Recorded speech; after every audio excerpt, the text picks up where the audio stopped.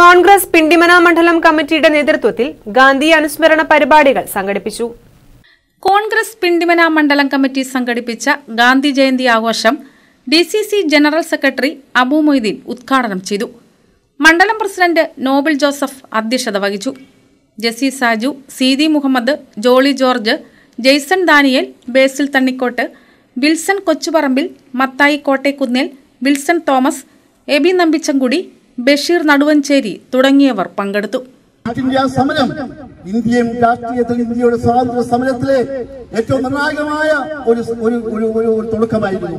ആ വേലിയേറ്റത്തിൽ ആ പ്രതിഷേധത്തിൽ പിടിച്ചു നിൽക്കാൻ കഴിയാതെ ബ്രിട്ടീഷുകാർക്ക് ഇന്ത്യ വിട്ട് ഇന്ത്യയ്ക്ക് ആയിരത്തി തൊള്ളായിരത്തി നാൽപ്പത്തി ഏഴ് ഓഗസ്റ്റ് പതി പതിനഞ്ചാം തീയതി ഈ രാജ്യത്തിന്റെ സ്വാതന്ത്ര്യം അവർക്ക് തലയേണ്ടി വന്ന ഒരു സാഹചര്യം ഉണ്ടായി.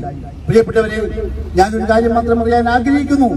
മഹാത്മാവ് ഈ രാജ്യത്ത് ഉയർത്തിപ്പിടിച്ച മഹത്തായ ജനാധിപത്യ ആശയം അത് ഈ രാജ്യത്ത് നിന്ന് കൈമോശം വന്നു പോയില്ലേ?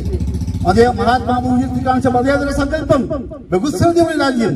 എല്ലാ തരത്തിലുള്ള ജനങ്ങളും ഏകോദര സഹോദരങ്ങളെ പോലെ ജീവിച്ച മഹത്തായ ഈ ഭാരത മണ്ണ്.